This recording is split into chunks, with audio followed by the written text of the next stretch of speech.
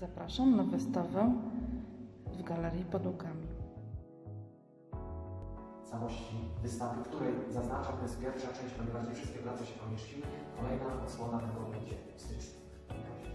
Lekcja jest otwarta. Założyliśmy ją na Facebooku e, i stwierdziliśmy, że oprócz tego, że trzeba być do siebie miłym, nie, nie robimy żadnych ograniczeń. Ja myślę, że tego artysty nie trzeba przedstawiać. To praca Grzegorza Chudego. E, Urodził się w Katowicach w latach 80. Do dziś mieszka tam i pracuje. Nieocenianym źródłem inspiracji dla niego są stare fotografie, anegdoty z życia sąsiadów i przyjaciół, ale również absurdy otaczającej nas codzienności. To prace Michała Mogińskiego,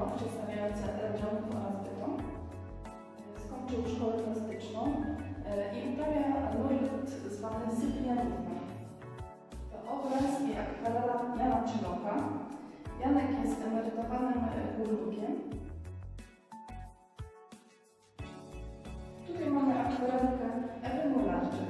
Ewa jest wybitną wytwórnianką i również e, uczy się akwareli pod okiem Piotra. To obraz Marii Michalów, która mieszka w Świętochowicach. Jest emerytką i od 6 lat maluje obrazy. To akwarele Mirosława Ogińskiego. Jest twórcą wielowarsztatowym, zajmuje się malarstwem, rzeźbą, akwarelą, rysunkiem, grafiką komputerową, pisaniem ikon, dokumentowaniem zabytków sakralnych Śląska i Podkarpacia. To obraz Ewy Regulskiej. Ewa jest ślązaczką z dziada pradziada. Malowaniem zajmuje się prawie od dziecka, ale dopiero teraz w podeszłym wieku ma czas, żeby realizować swoje pasje. A malowanie to jest sposób na stres. Za, zawsze twierdzi, że im bardziej zajęte ręce, tym bardziej wolna głowa. To prace Edwarda Czecha. Ze sztuką jest związany od najmłodszych lat. E, Edward jest obecnie osobą niepełnosprawną, która przeszła udar, ale nadal maluje. To dwa obrazy z Dzisława Jerczyka w jednej ramie. Taki dyptyk. Jak mówi o sobie, jest e, artystą, ale też jest pasjonatem e, a sztaludze myśli o wycieczkach rowerowych. Katarzyna Wybierska maluje od niedawna. Zaczęła malować dla zabicia czasu i stało się to jej pasją. Dzisiaj nie wyobraża sobie życia bez malowania.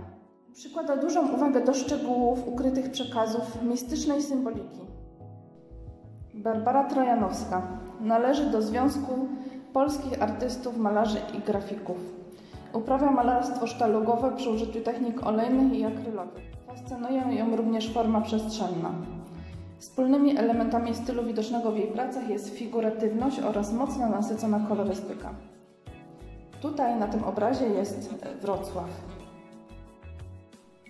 Lourdes Maria Olbert. To moja koleżanka z uczelni. Razem studiujemy y, na Akademii Sztuk Pięknych we Wrocławiu. Ona pochodzi z- z Portugalii i wiele lat mieszka już we Wrocławiu. Obraz przedstawia jej córkę patrzącą y, na panoramę Wrocławia. To obraz Klaudii Jankowskiej. Swoje obrazy podpisuje pseudonimem Amika.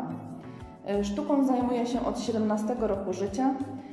Y, Zajmowała się grafiką warsztatową, grafiką komputerową i pastelami. Obrazy wykonuje akrylami. Uczestniczyła y, w kilku wystawach zbiorowych i indywidualnych. To praca Beaty Hetmańczyk. Z zawodu plastykiem i dekoratorem, prezesem Stowarzyszenia Artystów Śląskich Staś w Tarnowskich Górach. Jej obrazy wystawione były nie tylko w kraju, ale również w Niemczech, Czechach oraz Anglii. To praca Włodzimierza Sokoła. Już jako dziecko pasjonował się malarstwem. Nawet podczas piastowania wielu e, odpowiedzialnych stanowisk menedżerskich nie zarzucił malowania, czego dowodem są ilustracje w wielu książkach. Już trzeci rok realizuje e, się w pracowni rysunku i malarstwa Piotra Nalewajki. Chcieliśmy bardzo podziękować Pani Kasiu za umożliwienie ekspozycji tej wystawy, za przybliżenie nam twórców oraz obrazów ich tematyki. I Pan Dyrektor Chcielibyśmy razem z życzeniami świątecznymi, żeby taki drobny, drobny do pracy z